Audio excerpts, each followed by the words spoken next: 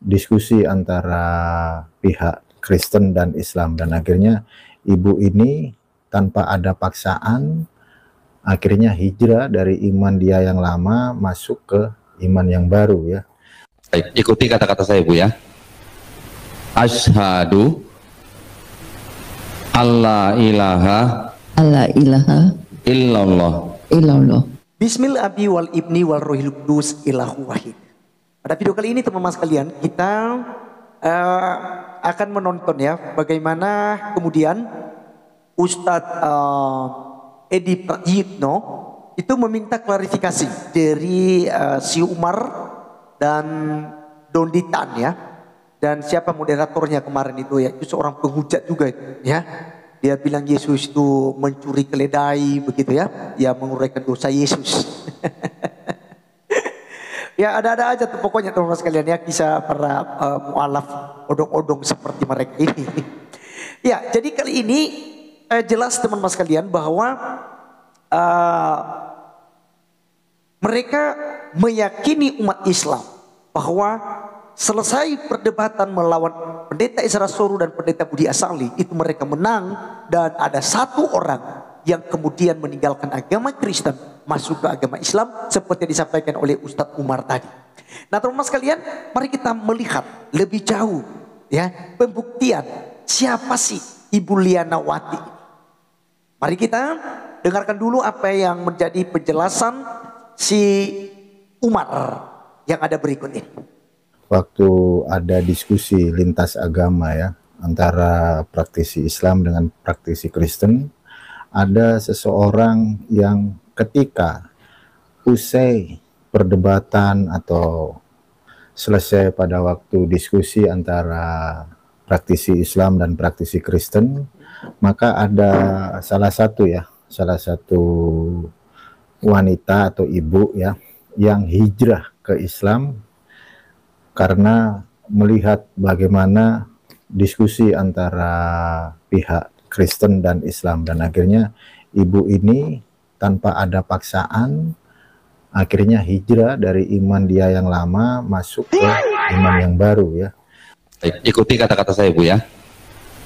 Ashadu Allah ilaha Allah ilaha illallah illallah wa ashadu wa asadu anna anna Muhammadan Muhammadan Rasul Rasulullah. Kita tepuk tangan dulu teman-teman sekalian untuk Umar. Ya, teman-teman sekalian, itulah yang disampaikan oleh si Umar ini ya, yang dipermalukan oleh pendeta Serasoru itu ya. Baca ini katanya, baca. Kamu kan ahlinya, kamu kan apa apakah namanya itu ada isu-isu ya dia ini keturunan Yahudi begitu ya baca ini baca ini kalau memang mengerti tentang uh, targum Yahudi ya mengerti tentang apa namanya itu uh, kitab suci agama Yahudi ya ini langsung baca saja siapa ya Mesias yang mereka maksudkan ya mereka nggak bisa berjawab aku nggak bisa katanya ya nah teman sekalian kita upload tadi itu karena ternyata memang ada yang mualaf ya meninggalkan agama Kristen karena perdebatan tersebut ya. Tapi apakah itu benar? Mari teman-teman sekalian kita buktikan bahwa ini settingan dan ini sebenarnya hanya sahadat ulang. Dan menurut ustadz ya beberapa ustadz ya, dari itu tidak boleh disahadatkan ulang. Dan termasuk ini salah satu bukti nanti dari pendapat Ustadz Edi Supraitno. Di mana dikatakan bahwa tidak perlu disahadatkan ulang. Itu kan urusan dia. Apakah dia tidak sholat, apakah dia masih makan babi. Misalnya seperti katakan Julius. Ya itu urusan dia. Tidak perlu disahadatkan ulang. Udah bersahadat kok. Ngapain harus disahadatkan uh, ulang lagi ya. Jadi kurang lebih seperti itu yang disampaikan oleh uh, Ustadz Edi Suprayito. Nah sekarang mari kita dengarkan teman sekalian apa yang disampaikan oleh Julius. Karena Julius itu tidak sependapat bahwa uh, dia ini hasil buah dari uh, perdebatan karena pendeta kalah dan lain sebagainya ya seperti yang uh, kita lihat ya di media-media. Sekarang kita lihat apa yang disampaikan oleh Julius berikut ini. Saya setuju. Saya setuju. Dan Kak Liana Rusti itu teman saya. Di sini saya katakan ya. Kak Liana Rusti itu dia sudah Islam tahun lalu. Sudah Islam tahun lalu, tetapi dia tidak menjalankan syariat Islam. Tidak menjalankan, bahkan masih makan ya B2 dan sebagainya. Sehingga dianggap bahwa syahadat sebelumnya itu batal. Karena seorang muslim kalau udah sampai makan B2, nggak pernah sholat, ya itu bukan muslim. Betul tidak? Bukan muslim. Jadi supaya lebih mantap syahadat ulang. Itu yang dibilang. Ya, saya jujur katakan loh. Dia sudah syahadat tahun lalu. Itu syahadat ulang doang. Jadi kalau dibilang itu spontanitas karena setelah menonton debat, ya tidak ya. Saya harus katakan itu tidak setelah nonton debat, enggak. Ya, tidak seperti itu. Jadi dia memang syahadat itu karena untuk mengukuhkan imannya sekali lagi. Di mana tahun lalu dia syahadat tapi dia tidak melakukan apa pun. Tidak melakukan apa pun. Oke, teman sekalian, itulah yang kita sudah dengarkan dari penjelasan Julius dan di sini kita dapat jawabannya. Jadi apa yang disampaikan oleh Umar dan juga di channel-channel ya termasuk channel auditan uh, ya kalian simpulkan sendiri. Apakah memang ini benar-benar mualaf yang uh, memutuskan saat itu untuk menjadi uh, seorang Islam gitu ya, uh, tertarik dengan Islam karena Auditan dan Umar itu menang dalam perdebatan. Lalu Pak Pendeta Isra Soru dan Pendeta Budi Asali itu pokoknya KO ya. Jadi orang ini akhirnya ya udah aku tertarik dengan Islam. Jadi Donitan bilang, jadi tidak ada lagi yang menghalangi ibu untuk memeluk Islam ya. Ikuti kata-kata saya, ya langsung disadatkan. Walaupun itu ya masih eh, belum Ya tahu yang pastinya ini masih settingan dan ini uh, kita akan nantikan rumah sekalian ya karena uh, Edi Suprayitno ya Ustadz Edi Suprayitno itu meminta pertanggungjawabannya klarifikasi yang sebenar-benarnya dari Umar dan Dunditan. Uh, jangan sampai katanya uh, terbawa nama yayasan ya nanti dibilang mualaf center Indonesia ini apa namanya itu menebarkan kebohongan, menipu umat, apalagi menipu uh, Allah mereka teman sekalian ya. Mari kita dengarkan apa yang disampaikan oleh Ustadz Edi Suprayitno berikut ini. Nah, ini kan wajahnya kelihatan ini. Ibu Lianawati ini apakah benar-benar mualaf waktu itu ataukah ini settingan? Ini kan bisa dilacak.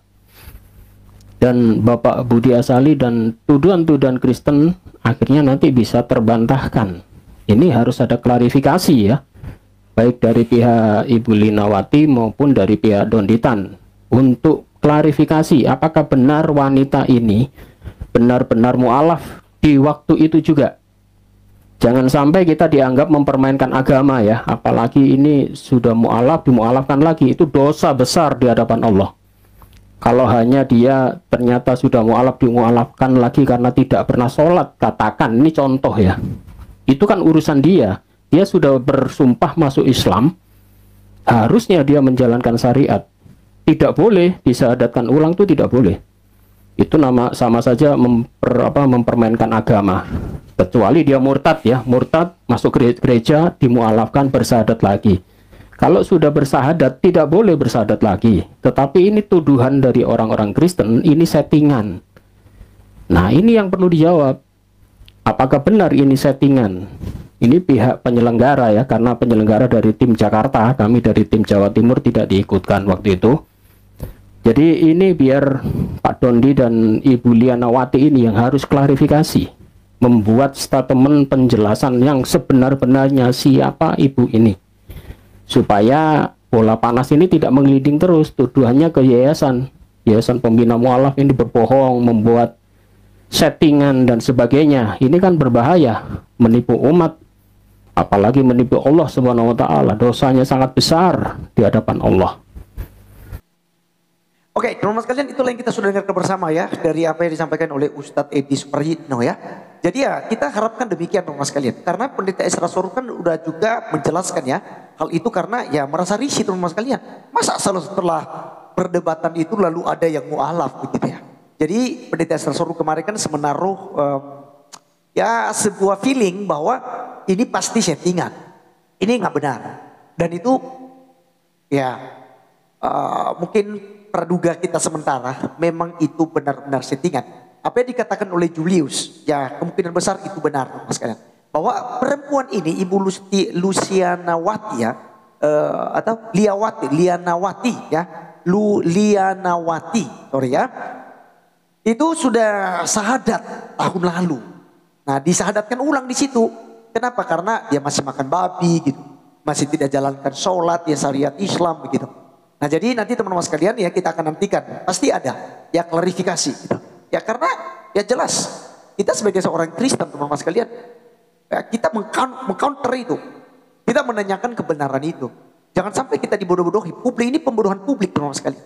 Ya dan itu sebenarnya ada undang-undangnya begitu ya.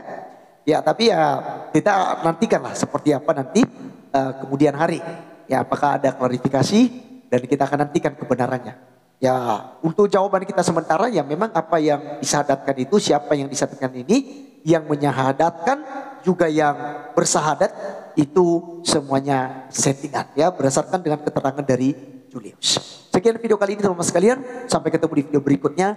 Tuhan Yesus memberkati kita. Salam.